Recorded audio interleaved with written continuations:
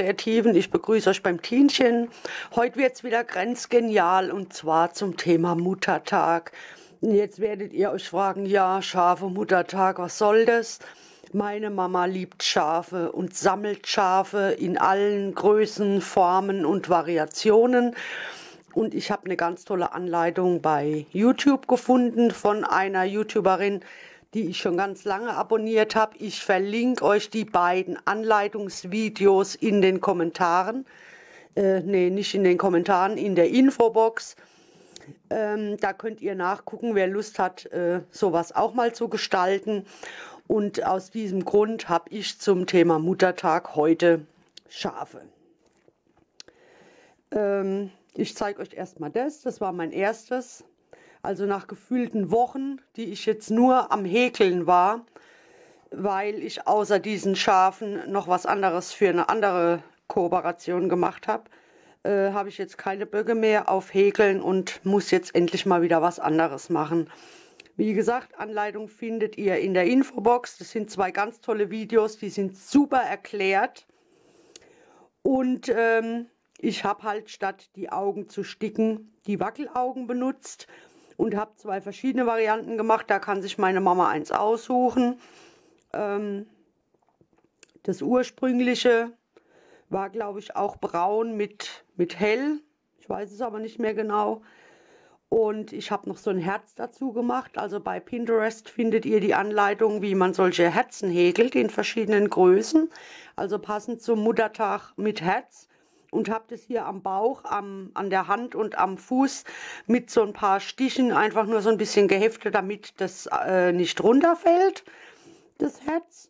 Und habe hier von den tollen Blümchen, hallo Jenny, von den tollen Blümchen von der Jenny eins äh, verarbeitet. Und zwar hat sie die, das ist ganz raffentückisch hier, für alle, die ähm, sowas mal gern nachmachen möchten.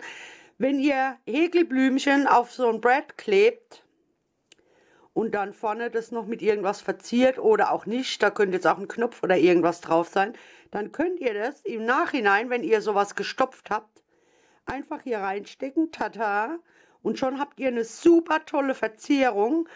Und das gleiche habe ich hier nochmal ein bisschen in einer anderen Variante gemacht.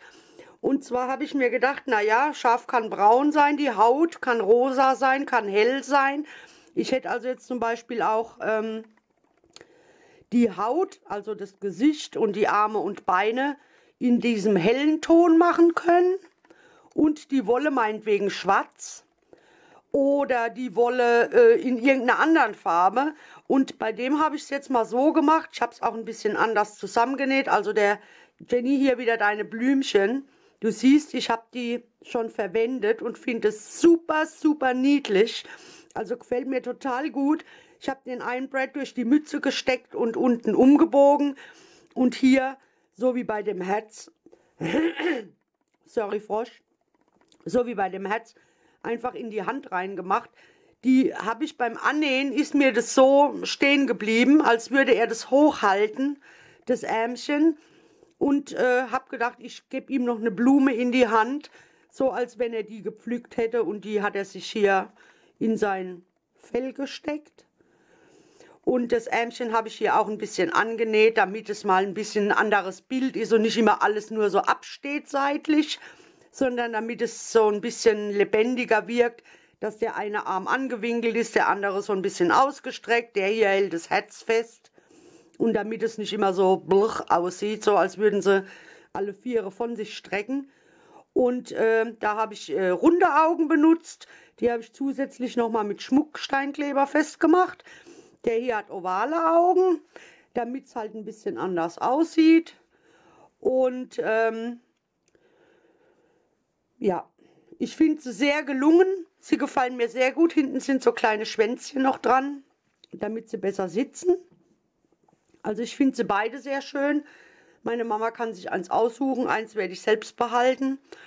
Und äh, ihr seht schon, dass wenn man also nur äh, ein bisschen andere Farben benutzt, es vollkommen anders wirkt wieder. Und wie gesagt, ihr könntet die Farben jetzt auch ganz anders wählen. Ich würde jetzt keine, keine Ahnung, äh, blaue oder rote äh, Schafe machen.